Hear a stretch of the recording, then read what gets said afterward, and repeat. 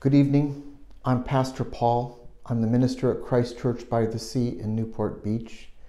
This is our Maundy, Thursday service in which we remember Jesus' suffering on Good Friday and his betrayal and Last Supper with his disciples on Maundy, Thursday.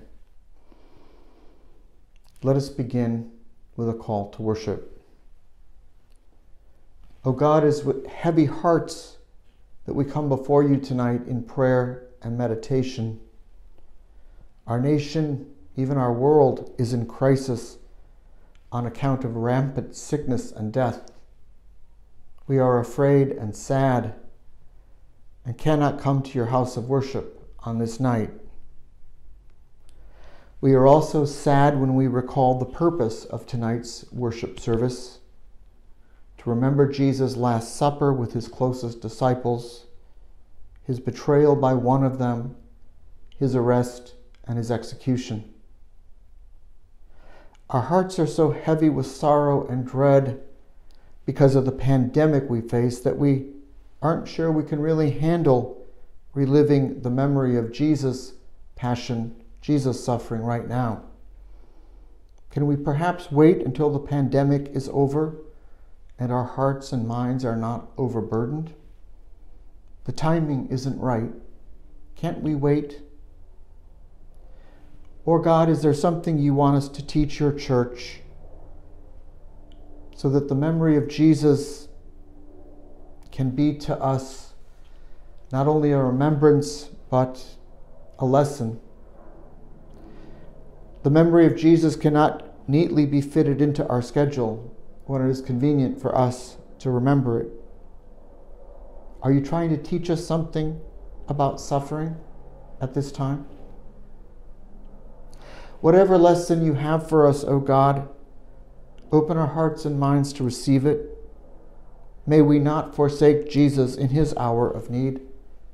May we not betray him or deny him. Especially tonight, O God, we pray to you in Jesus' name. Amen. And now Sara will sing a solo for us.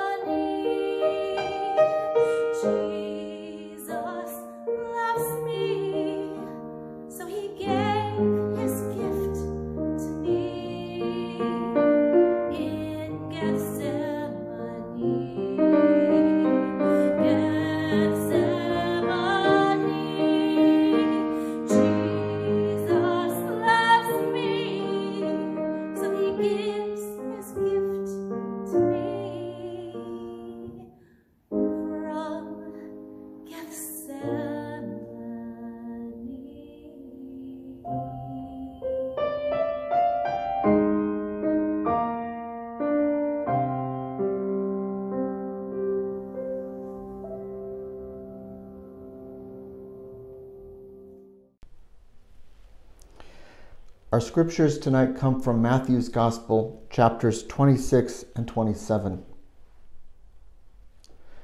When it was evening, he took his place with the twelve. And while they were eating, he said, Truly I tell you, one of you will betray me. And they became greatly distressed and began to say to him one after another, Surely not I, Lord. He answered, The one who has dipped his hand into the bowl with me will betray me. The Son of Man goes as it is written of him, but woe to that one by whom the Son of Man is betrayed.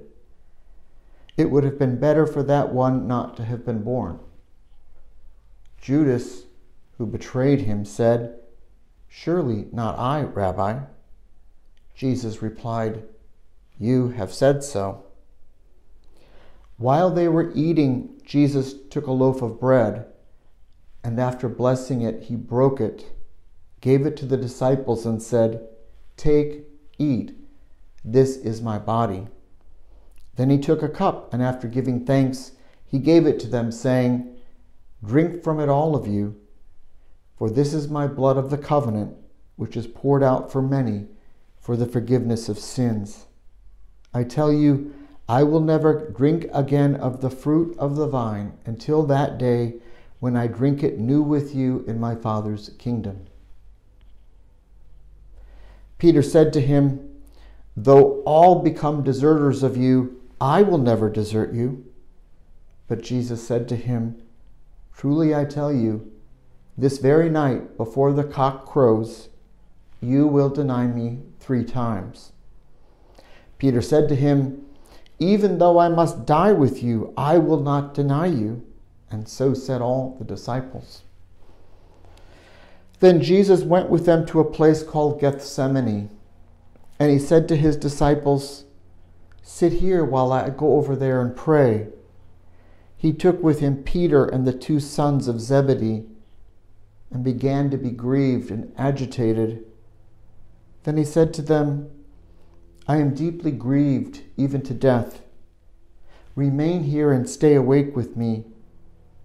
And going a little farther, he threw himself on the ground and prayed, My Father, if it is possible, let this cup pass from me. Yet not what I want, but what you want.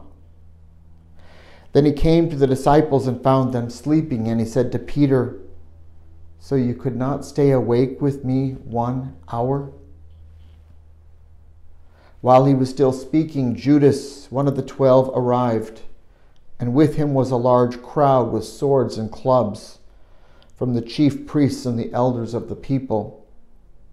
Now the betrayer had given them a sign, saying, The one I will kiss is the man arrest him. At once he came up to Jesus and said, Greetings, Rabbi, and kissed him. Jesus said to him, Friend, do what you are here to do. Then they came and laid hands on Jesus and arrested him. Now Peter was sitting outside in the courtyard. A servant girl came to him and said, you also were with Jesus the Galilean. But he denied it before all of them, saying, I do not know what you are talking about. When he went out to the porch, another servant girl saw him and said to the bystanders, This man was with Jesus of Nazareth. Again he denied it with an oath, I do not know the man. After a little while, the bystanders came up and said to Peter, Certainly you are also one of them, for your accent betrays you. Then he began to curse and he swore an oath I do not know the man. At that moment, the cock crowed. Then Peter remembered what Jesus had said Before the cock crows, you will deny me three times. And Peter went out and wept bitterly. Then the soldiers of the governor took Jesus into the governor's headquarters, and they gathered the whole court around him. They stripped him and put a scarlet robe on him, and after twisting some thorns into a crown, they put it on his head. They put a reed in his right hand and knelt before him and mocked him, saying, Hail, King of the Jews! They spat on him and took the reed and struck him on the head. After mocking him, they stripped him of the robe and put his own clothes on him. Then they led him away to crucify him. As they went out, they came upon a man from Cyrene named Simon. They compelled this man to carry his cross. And when they came to a place called Golgotha, which means place of a skull, they offered him wine to drink mixed with gall. But when he tasted it, he would not drink it. And when they had crucified him, they divided his clothes among themselves by casting lots. Then they sat down there and kept watch over him. Over his head they put the charge against him, which read, This is Jesus, the King of the Jews. In the same way, also the chief priests, along with the scribes and elders, were mocking him, saying, He saved others, but he cannot save himself. He is the King of Israel. Let him come down from the cross now, and we will believe in him. He trusts in God. Let God deliver him now if he wants to, for he said, I am God's son. From noon on, darkness came over the whole land until three in the afternoon. And about three o'clock, Jesus cried out with a loud voice, Eli, Eli, lema sabachthani. That is, my God, my God, why have you forsaken me? Then Jesus cried again with a loud voice and breathed his last. Here ends the reading. And now Sara and Vince will sing a duet for us, Pie Jesu.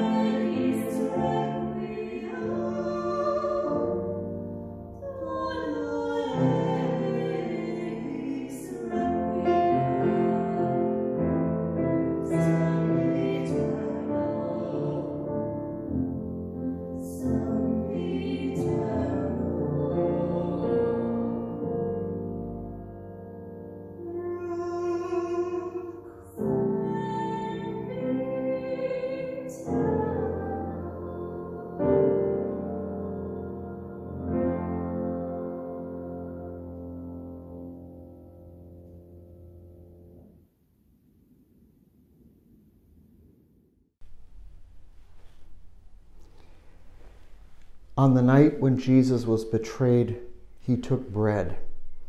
He blessed and broke it and gave it to his disciples, saying, Take, eat. This is my body, which is broken for you.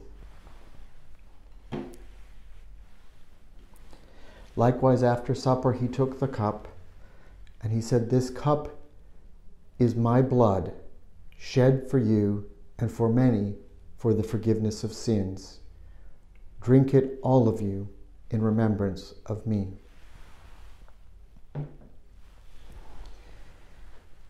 This is a sad night in the life of Jesus and for Christians who remember this night.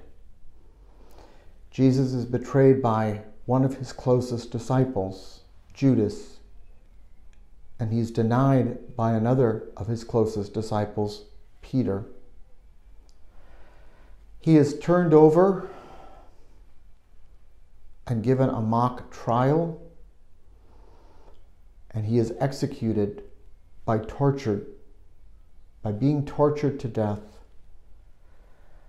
Crucifixion is one of the most painful ways devised by which a person can be executed, and it was intentionally painful and shameful so as to send a message to other would be protesters or rebels against the Roman Empire.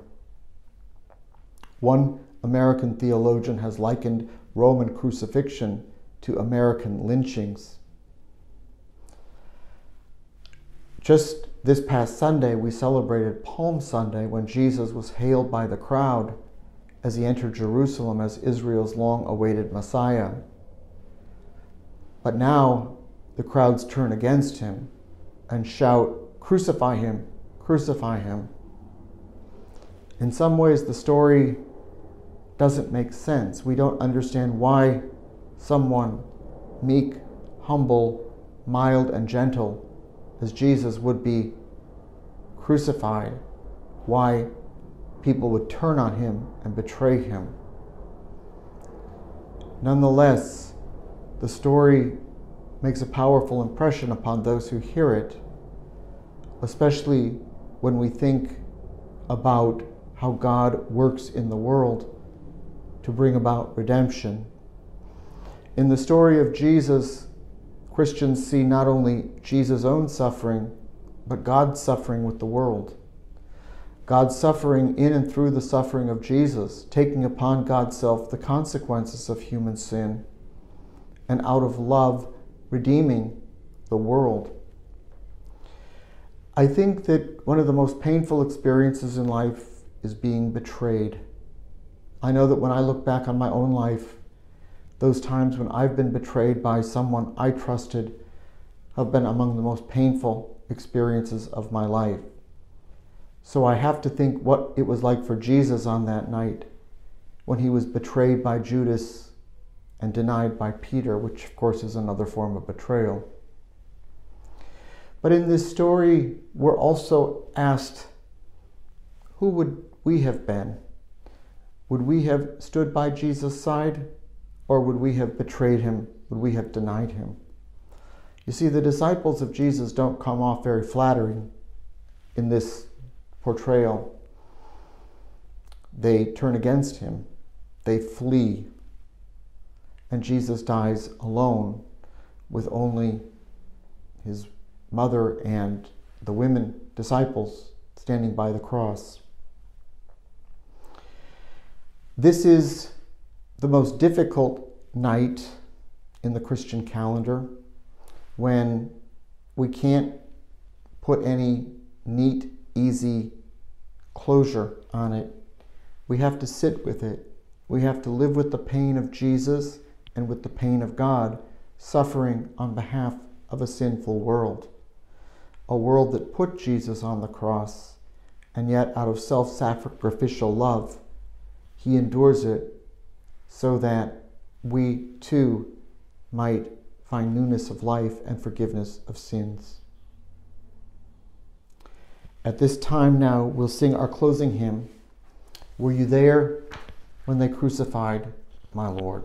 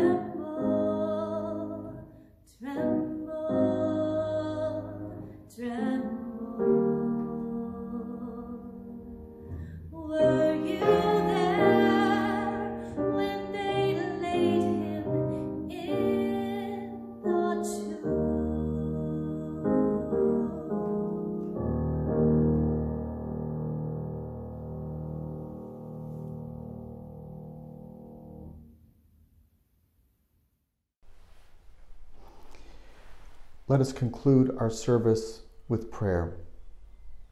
O God, we stand before you in awe and terror and horror at the suffering of Jesus and at your suffering on behalf of a sinful world. We ask your deliverance. We ask your forgiveness. We ask your healing touch upon our world in need at this time. Tonight and throughout tomorrow, may we who claim to be Jesus' disciples not forsake him, not betray or deny him, but stand by his side as he suffers on behalf of a sinful world. And may we confess that this is the Messiah, this is who is coming in the name of the Lord to rule on your behalf, our meek, gentle, humble King, the Messiah, Jesus. Amen.